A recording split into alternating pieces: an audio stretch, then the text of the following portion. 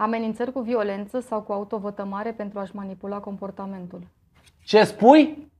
Divorțezi de mine? Păi n-am pus să divorțezi. N-am, diseară nu mai mă întorc acasă.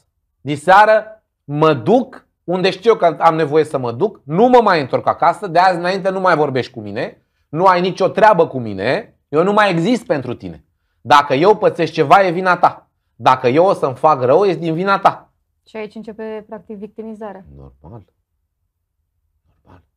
Sunt atâtea zeci de cazuri pe care le-am trăit și am înțeles din ele următorul element.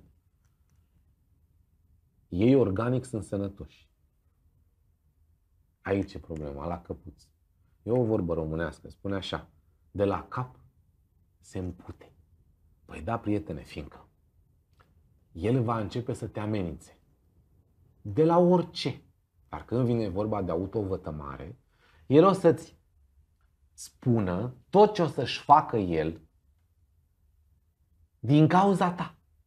Orice. Te gândești la cele mai rele și obscure lucruri, la cele mai groaznice forme de suicid, alea ți le spune. Dar nu ți le spune oricum. Nu! Nu ți le spune oricum. Ha, ha! Ți le spune așa.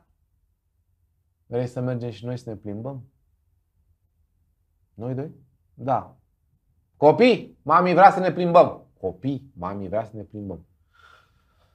De bine, de nebine, voit sau mai puțin voit, femeia spune da. Și încep să meargă pe stradă. Da? Copiii mai în față, el mai în spate, el mai în spate, el mai în față, în fine.